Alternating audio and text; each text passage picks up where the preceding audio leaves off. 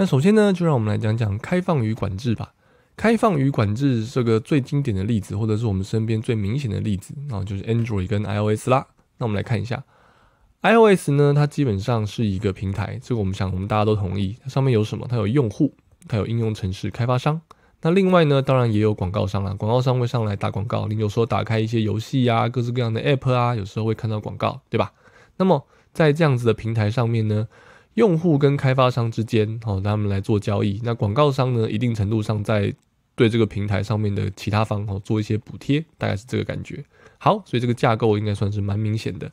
那么 iOS 呢，它基本上哦，对于应用程式开发商来说，它是平台嘛，所以开发商自行上架，开发商自行决定 App 要做成什么样子，要定多少钱。不过呢，它基本上是实行一个管制策略，它会严格地审核申请上架的 App。好，也就是说，你今天 App 想要上架的时候呢，固然是你自己决定你要写成什么样子，但是当你说，呃，你跟 Apple 提出申请说我要上架了以后，他会有人去看你的 App 到底写成什么样子，符不符合他们的基本规范，有没有好好的这个，呃，这个 follow 各式各样的善良风俗啊，好，里面有没有一些不该出现的什么这个杀人放火的东西啊，然后，呃，App 的 quality 够不够，哦，会不会？一天到晚打开就闪退，他甚至会做出一些有时候想起来觉得蛮奇怪的事情。他甚至会说：“诶，你这个 app 各方面来讲都 OK，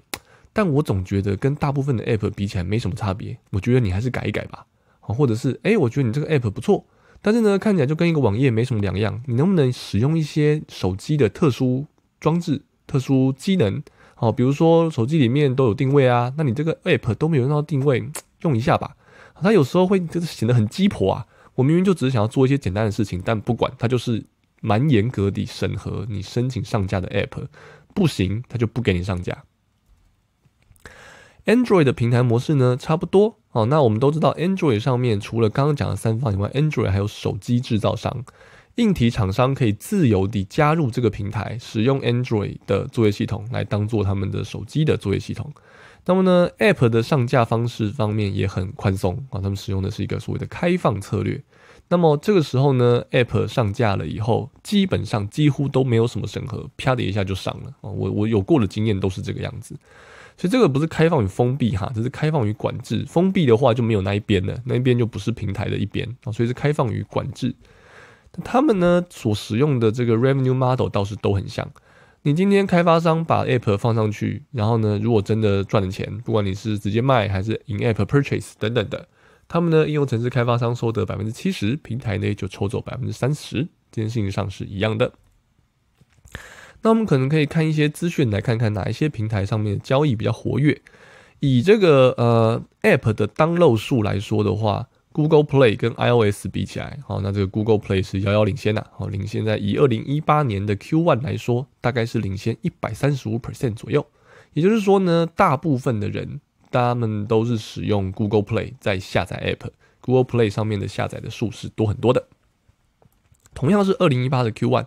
如果我们看的是 Gross Consumer Spend 这样子，也就是说呢，消费者在这个平台上面花的钱。那包括 in-app purchase 啊，或者是包括这个 download 的时候要付的钱啊，等等的，诶，这个时候就反过来，这个时候变成 iOS 比起 Google Play 要多出百分之八十五这个样子。那么这个数据呢，基本上跟嗯过去几年来都没有非常大的差别。以呃，比如说二零一六年来说的话呢，这个 Google Play 哦领先的程度在 download 上大概是一百趴左右。那营收方面呢，二零一六的时候的资讯哦，Google 呃 iOS 领先大概是九十趴左右哦，所以基本上呢这差距都没有太大的变化。